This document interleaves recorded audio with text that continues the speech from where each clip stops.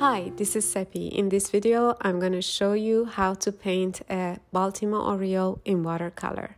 Before we start, if you like these instructional videos, make sure to subscribe to my channel, like my videos, and hit the bell button so that you will be the first one to get notified when I release any of these lessons. Let's get started. I started by drawing the bird, paying attention to the shape of the body, the shape of the beak, and the proportions, the sizes.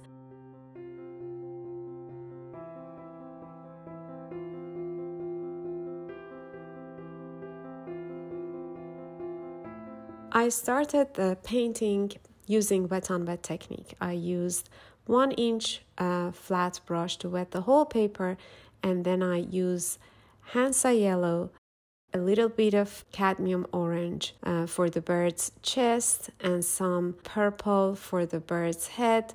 I mix my purple with some Payne's gray and then I added sap green, permanent rose, Prussian green, ultramarine blue to my background.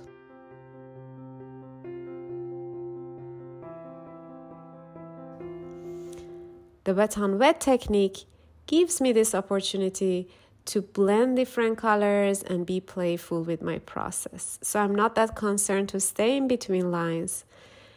And now that the paper is getting dry, I can start going around my bird, going around the blossoms, using some of the same colors that I mentioned earlier, and working around those to show the shapes better.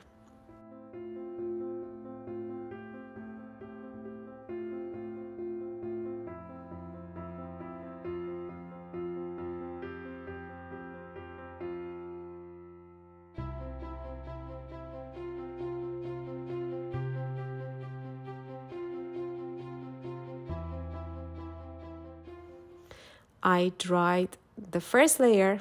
Now I'm using a smaller size brush, some more permanent rose and cadmium orange for the chest of the bird, some more purple and Payne's gray for the head, not too intense though, using brush number two to go through the details, adding some texture, some more intensity.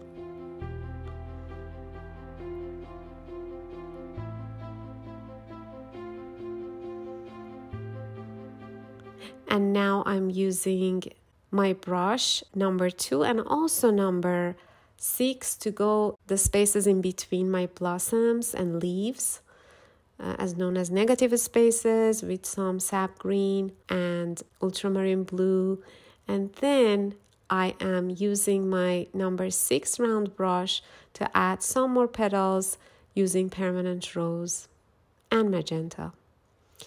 I'm using Posca paint pen to add some white accents to the feathers of my bird and I'm using my black ink pen to add some dark accents to my branches, creating some textures. Adding some brown.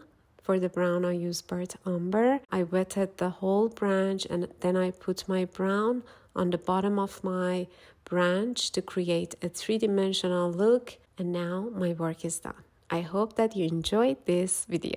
Thanks for watching.